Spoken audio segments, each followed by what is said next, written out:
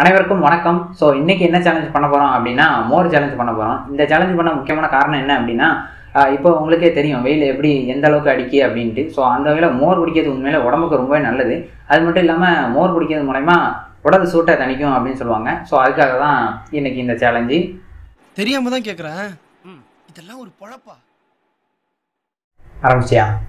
இப்போ பார்த்தீங்கன்னா இது ஒவ்வொரு கிளாஸும் கிட்டத்தட்ட இரநூத்தம்பது எம்எல் வருது. மொத்தமாக எட்டு கிளாஸ் வருது. கிட்டத்தட்ட ஒரு ரெண்டு லிட்டரு வரும் அப்படின்னு நினைக்கிறேன்.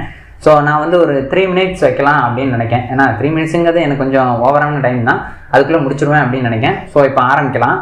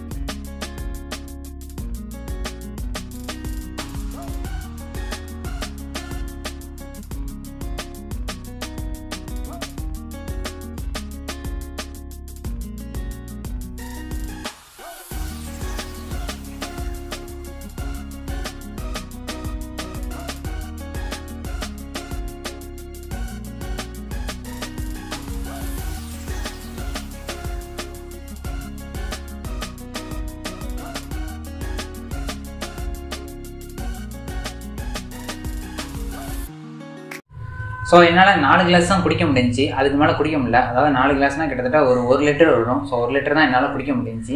அதுக்கு மேலே குடிக்க முடியல. ஸோ இந்த ஒரு லிட்டர் குடிக்கிறதுக்கு எவ்வளோ நேரம் ஆயிருக்குன்னு பார்த்தீங்கன்னா ஒரு நிமிஷமும் நாற்பத்தொம்பது செகண்ட் ஆயிருக்கு. இது ஏன் குடிக்க முடியல அப்படின்னு காரணம் கேட்டிங்கன்னா ஒன்றும் இல்லை. இந்த மோர் கலக்கும் போதே கிட்டத்தட்ட உப்பு இருக்கான்னு சாம்பிள் பார்க்கறதுக்கே ஒரு நாலு கிளாஸ் குடிச்சிட்டேன். ஸோ அதனாலே என்னால் அவ்வளோவா குடிக்க முடியலை. இல்லைன்னா கூட குடிச்சிருக்கலாம். ஆனால் அது மட்டும் இல்லாமல் வீட்டில் வந்து மோர் ரெடி பண்ணுங்கள் தயவு செஞ்சு பாக்கெட் மோர் வாங்கி கலக்காதீங்க. ஏன்னா அதை யூஸ் பண்ணதுக்கு நீங்கள் பேசாமல் ஒரு பச்சை தண்ணியை குடிச்சிட்டு போயிடலாம். அது ஒரு அது சூட்டையும் தணிக்காத ஒரு காசுக்கும் ஆகாது. ஸோ அதுக்காக வீட்லயே முடிஞ்ச அளவுக்கு ரெடி பண்ண பாருங்க. அண்ட் ஸோ அது மட்டும் இல்லாமல் இப்போ வந்து வெயிலோட தாக்கம் உண்மையில ரொம்பவே அதிகமாக இருக்குது அதுக்கு காரணம் என்ன அப்படின்னா ஓசன் லேயரில் ஓட்ட விழுந்துருச்சு. ஸோ அதனாலே என்னவோ வெயிலோட தாக்கம் உண்மையில ரொம்பவே அதிகமாக இருக்குது பேசிட்டு இருக்கீங்க. இவங்க சப்ஸ்கிரைப் பண்ணுற வரைக்கும் இப்படி தான் சம்மந்தமே இல்லாமல் ஏதாவது பேசிக்கிட்டே இருப்பேன்.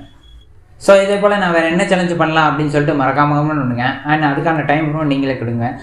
இந்தபடி அவ்வளோதான் முடிச்சுக்கிறேன். நன்றி. ஏங்க தெரியாம தான் கேக்குறேன். இதெல்லாம் ஒரு பொழப்பா?